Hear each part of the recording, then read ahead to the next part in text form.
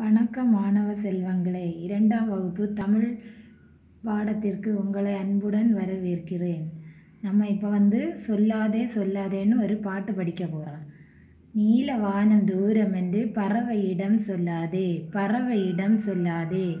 அடர்ந்த காடு இருண்டதென்று கரடியிடம் சொல்லாதே கரடியிடம் சொல்லாதே. பெரிய கடல் ஆழம் என்று மீன்களிடம் சொல்லாதே மீன்களிடம் சொல்லாதே. கற்பதெதுவும் கடினம் என்று எங்களிடம் சொல்லாதே எங்களிடம் சொல்லாதே. இந்த பாட்டில் நம்ம என்ன பார்க்கணும்னா நீல வானம் வானம் தூரம் என்று யாரிடம் சொல்லக்கூடாது?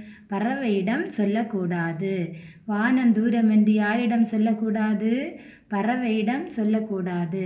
அடர்ந்த காடு காடு வந்து இருண்டதென்று யாரிடம் சொல்லக்கூடாது? கரடியிடம் சொல்லக்கூடாது. காடு இருண்டதென்று யாரிடம் சொல்லக்கூடாது? கரடியிடம் சொல்லக்கூடாது. பெரிய கடல் கடல் வந்து ஆழமென்று யாரிடம் சொல்லக்கூடாது? மீன்களிடம் சொல்லக்கூடாது. கடல் ஆழமென்று யாரிடம் சொல்லக்கூடாது? மீன்களிடம் சொல்லக்கூடாது.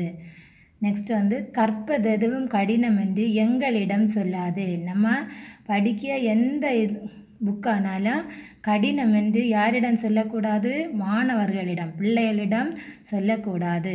கற்பதெதுவும் கடினம் என்று யாரிடம் சொல்லக்கூடாது? பிள்ளைகளிடம் சொல்லக்கூடாது. இந்த பாட்டிலிருந்து நான் இப்போ வந்து உங்களுக்கு பொறுத்துக. கொஞ்சம் கொஸ்டின் தாரேன். பறவை பறவை பொருத்தும் போது எங்கே வர? வானத்தின் தொலைவு.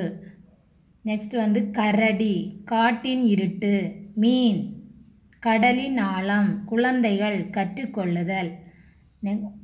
பறவை வானத்தின் தொலைவு கரடி காட்டின் இருட்டு மீன் கடலின் ஆழம் குழந்தைகள் கற்றுக்கொள்ளுதல். புரிஞ்சுதா? சரி நெக்ஸ்ட் வகுப்பில் பார்க்கலாம். நன்றி.